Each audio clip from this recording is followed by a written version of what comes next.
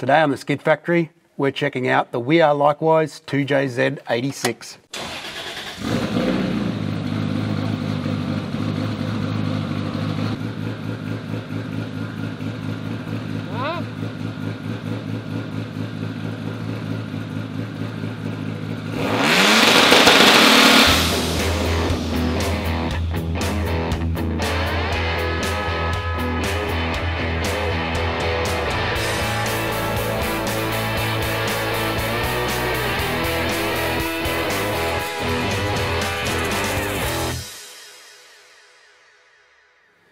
This is a 2013 Toyota 86. Uh, it is owned by Ben and Jordan from We Are Likewise. Uh, so this was actually the first vehicle that I ever built in the shed under the name Allied after I left AM Auto. And uh, it took a long time to build. It's a very detailed vehicle. Um, they had a big list of specifics that they wanted. Um, the two guys pretty bright. They know what they want. They're very good at styling. That's what they do for a job. And all the things that have done to the car, we had to talk through and get it right because um, when you're spending this much money on a car, you want it to look the part and do its job. So the engine, you can't miss that. It's obviously a 2JZ, and that's what everyone with an 86 wants or thinks they want. Um, it is actually a 2JZ GE block with a 2JZ uh, GTE head. Uh, it was built by Goleby's Parts in Toowoomba. It, it's, a, it's rated to 900 horsepower, so it's, um, it's kind of like a just a careful rebuild. Um, forged pistons, 10 to 1 compression, uh, H-beam spool rods, uh, 282 Camtech cams, so it sounds absolutely mint, which we'll show you. It's got just ARP studs and things like that, just reliability things, nothing too crazy. Obviously, a lot of work's been put into the appearance of the engine. All the things that make an engine practical are gone, so you can see all this stuff and don't put your finger in here.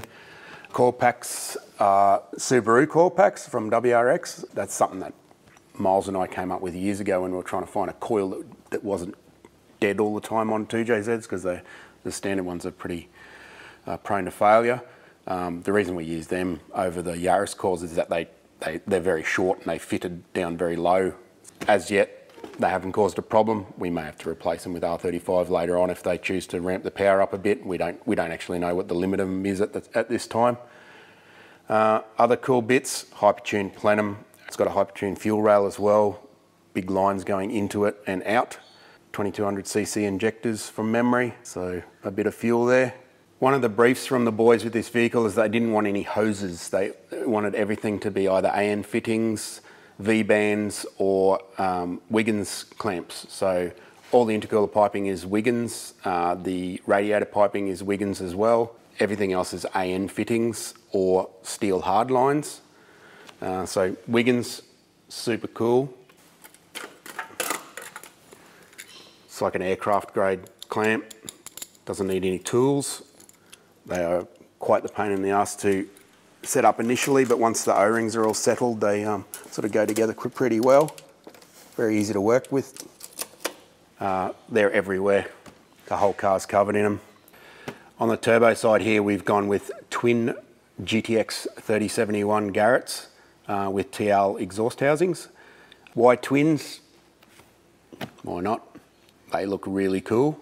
I wanted to sort of hark back to the um, the 90s where the all the, the Japanese companies were building crazy um, like promo cars like HKS and Trust, and they often used twin turbos up high. Um, they look pretty menacing. Um, I reckon it looks great. I was real keen. Um, all of it is made on uh, Hypex, Hypertune Hypex exhaust components. I, made it all, but it, it's um, uh, you can buy the cast components, uh, collectors, and, the, runners in various um, bends and, and radiuses and stuff and piece it all together yourself. So, because it was a sort of a custom fitment, we, we went with custom made, as you do. So they do actually stand up a lot higher than what you, your off the shelf um, Hypex manifolds that you can buy for the 2JZ. Uh, and the reason for that is originally it was only going to have an, a bonnet exit exhaust, which it has had. Um, so there was no need for space to route the exhaust out, which is why they normally lay them over. Um, since then, we kind of shot ourselves in the foot a bit because you can't actually drive it on a track in Australia with bonnet exit exhaust. They don't allow it on a racetrack, not a not a drag strip.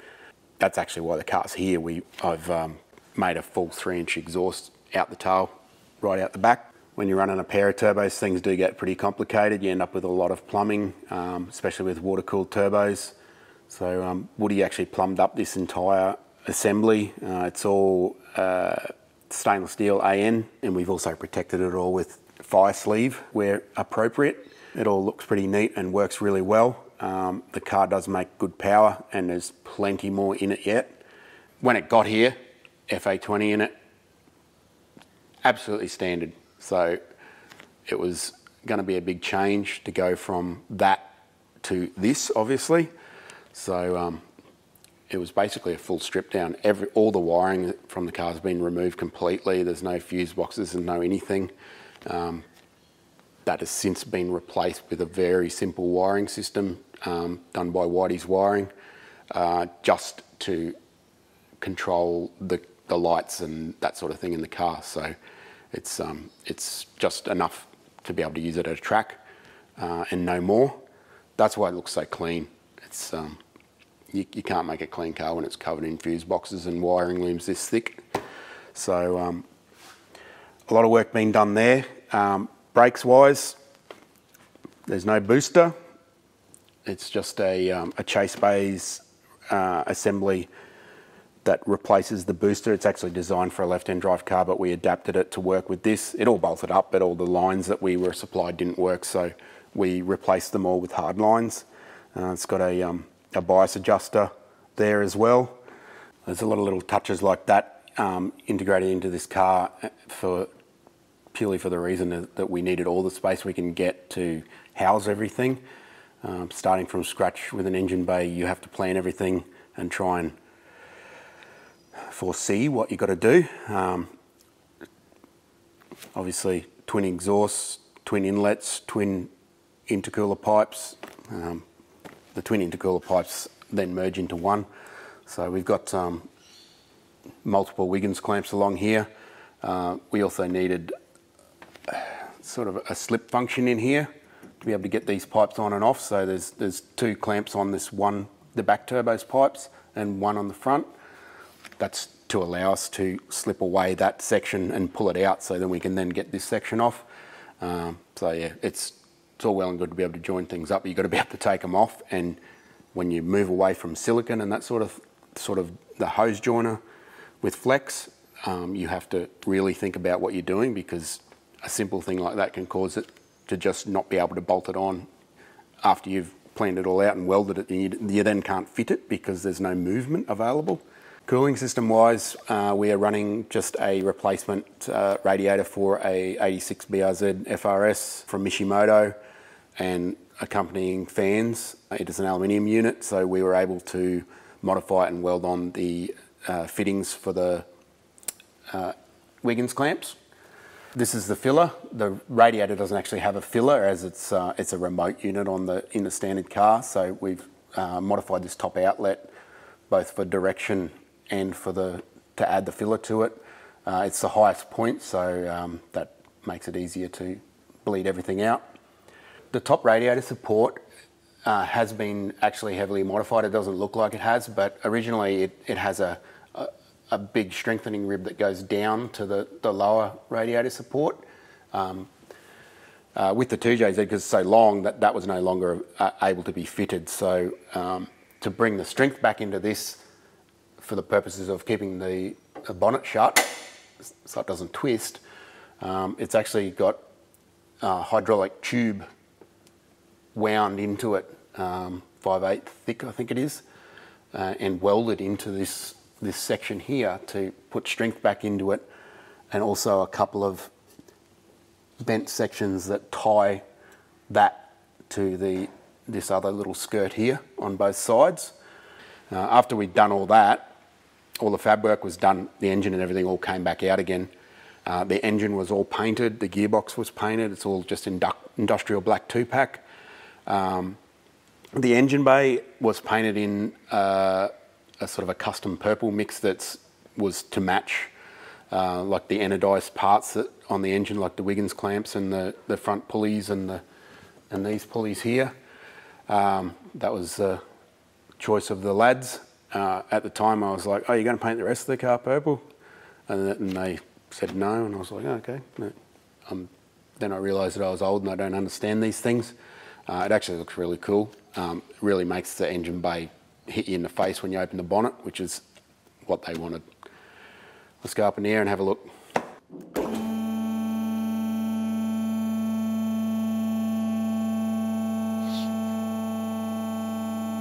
So to help the radiator along a bit if it uh, hits the track, we've got we've also got a Setrab oil cooler, good unit, intercooler, Hypertune, three inch in here, three and a half out to the throttle body. That's what size the throttle body is. So I've had to do a little bit of customising there to fit it. Mounting wise, there was nothing to mount it off, so I've made some mount blocks there, and it's got um, it's actually mounted off what was originally the crash bar mounts with some stainless steel uh, fabricated mounts, plus that top mount up to the um, radiator support. Further back we can see the engine mounting. The, uh, I've made all the mounting um, to suit the cross member, so the cross member remains unmodified. It's just using shackle type mounts and just custom made brackets. Transmission mount on any engine conversion you're going to do on one of these uh, 86s, that's where your problem's going to be. Um, there's actually a, a, a, huge brace inside the tunnel that um, houses the original transmission mount, but everything's a lot further forward, so you can't use that, and it you, you can't actually fit the transmission in the tunnel once it's all pushed backwards anyway. So that's all got to be picked out. Um, it is reasonably involving. It's got a lot of spot welds in it. Um, it's very tedious job to do. Uh, to replace that, I've then made this very simple cross member. The devil's in the details though. To get that to bolt the way it is, inside the car, I've had to remove a section of floor to reveal the inside of this, this section here, which is a, a very strong structural section of the, of the tunnel. Um, it's then had a, a plate with um, captive nuts has been inserted down inside it and it's all been sort of tied together and then that plate's been welded in there so it's all sort of um, as OEM as you can get when you're doing stuff like this. Um, one of the big problems with 86 conversions that people probably don't ever think about is in an 86 everything's further forward. There's a big, there's a lot of space in the tunnel and that's actually where the exhaust routing is. And when you put a different engine in it, and everything's further back, you no longer have that option to route the exhaust. So the exhaust has got to go underneath. That creates a problem because with ground clearance, because most of these cars are quite low. So it's always something that's got to be considered uh, when you're doing an engine swap on one of these is where you're going to put the exhaust. So um, keep that in mind. It's not always apples and 2JZs when you're playing around with cars. The transmission is a T56 from a probably 2000 model Commodore, so LS1. Uh, very easy box to get in Australia and quite cheap and also very strong. So it's a, it's a sort of a no-brainer for this type of conversion. It's adapted to the engine via a CRS bell housing, which is also an Australian product, and it uses a Mantic twin plate clutch, which is a really nice unit. Uh, so I mentioned earlier the reason the car is here is because it needed a, a full exhaust made for it. Um, and that's what I'm hanging off like a monkey bar here. It's a twin three inch stainless. It's all TIG welded. Um, extremely time consuming to make, but it's got to be there and we didn't want to sort of ruin the engine's potential by shrinking the exhaust down or anything like that. The other thing we've got to do to go along with the exhaust system is fit a wideband oxygen sensor kit from Haltech, a WB2 The engine is run by an Elite 2000 ECU, and the reason why we never put the WB2 on it initially is because it had bonnet exit exhausts, and having two oxygen sensors dangling off the side of that really wasn't in the in the theme of, of the car at the time. Uh, now that it's got the uh, full exhaust on it, we can then fit the oxygen sensors. There, um, the bungs are already there, ready to go. I've just got to sort of screw them in and, and plug it into the ECU. The Haltech has got a ton of sensors. We added as many as, as was practical. It's got oil temperature, it's got fuel pressure, it's got oil pressure, all the safety sensors that work really well with the Haltech um, to protect the engine in the event of a failure. Uh, shut it all down if any of those things goes bad, and also to obviously get data logging capability so you can see what's happening. Um, it doesn't have a flex fuel sensor because it's always going to run on E85, so we didn't bother with that when we come back down, we'll actually have a look in the boot because there's some serious stuff going on there with the fuel system.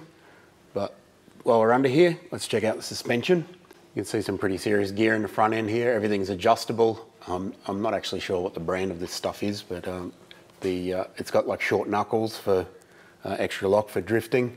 Originally, the car was going to be used as a drift car, but uh, after Jordan got T-boned in his other white 86, um, and the car was written off and obviously no insurance at a track, he sort of um, shied away from drifting this one since it's worth three times a normal 86. Um, but it's all still set up for that purpose. It's got like extended rack lock uh, brakes. It's got some serious gear on. It's 326 power uh, calipers and big rotors. I think everything is 326 power, as far as I know. Um, this was all actually all done when the car got here, so I didn't really have any involvement in it. It's got uh, really nice coilovers and the whole works in there. Heading towards the rear, we can see there's a lot going on here. Uh, this is kind of a bit of a spectacle, this rear end. Um, the lads actually did all this again prior to the car coming anywhere near me.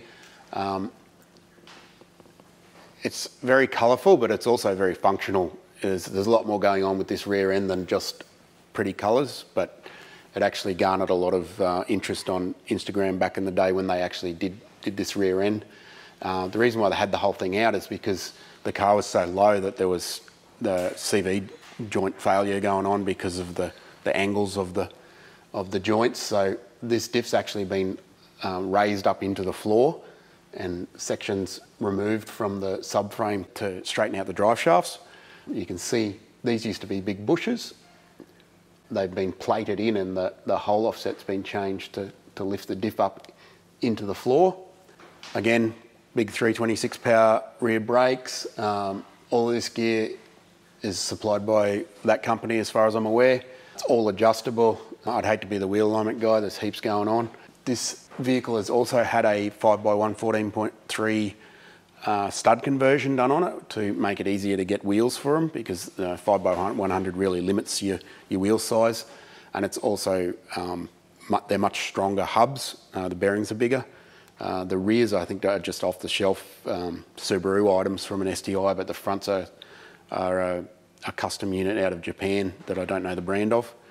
Uh, so this has had a ton of different wheels on it or at least three sets that I'm aware of huge fancy things. These ones are by far the best because the wheels are facing upright, which is just my opinion, of course. Beautiful TE37s, the latest edition of them, uh, forged wheel. It's got plenty of rubber on it, so it might grip the road and the rollers this time.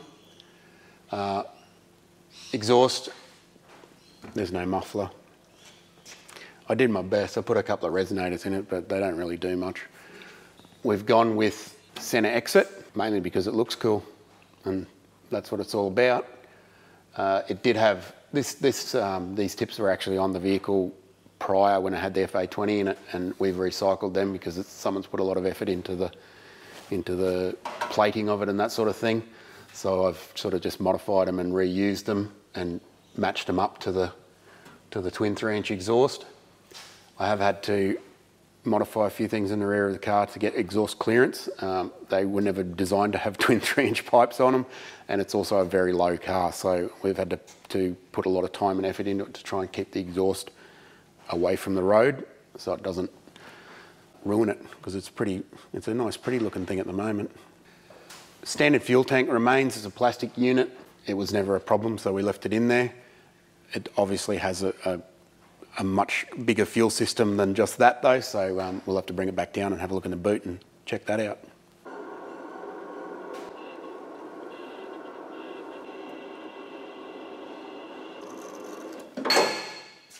Got a bit going on in this boot or trunk area. The majority of this uh, boot install was done by Matt from 53 Custom Metal, our mate that's uh, with the LS1 R32 Skyline. Very talented bloke. It's all hand bead rolled and punched. There's a lot of work in it. And it's also functional because it's holding obviously that very large surge tank that has got three pumps inside it. The fuel system starts inside the original tank where there's a radium uh, in-tank uh, hanger. Uh, we couldn't use the original in-tank hanger because it doesn't have a return facility.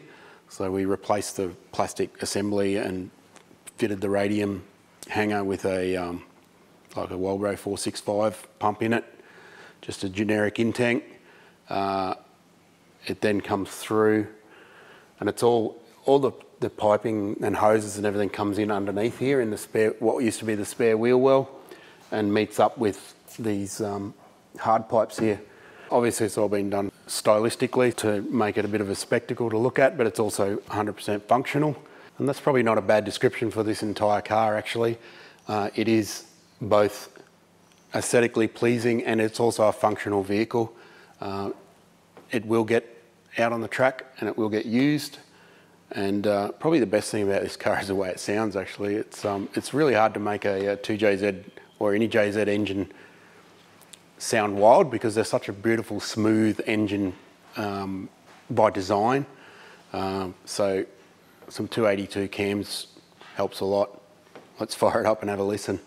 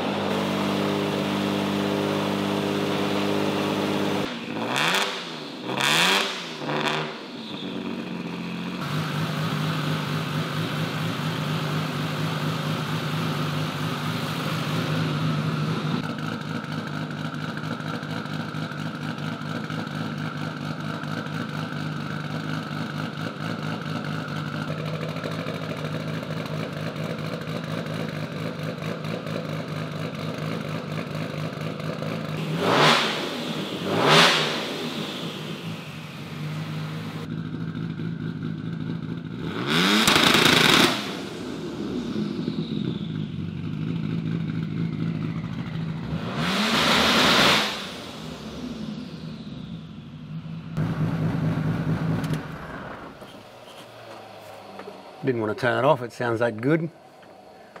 Thanks for watching this episode of The Skid Factory.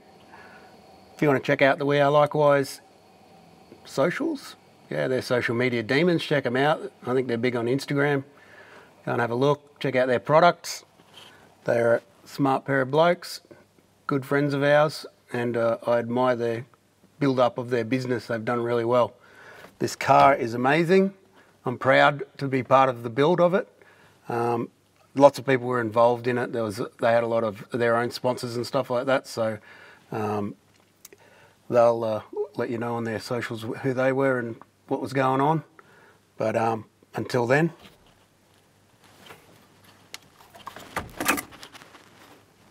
We'll see you next time. I've seen videos about this. You.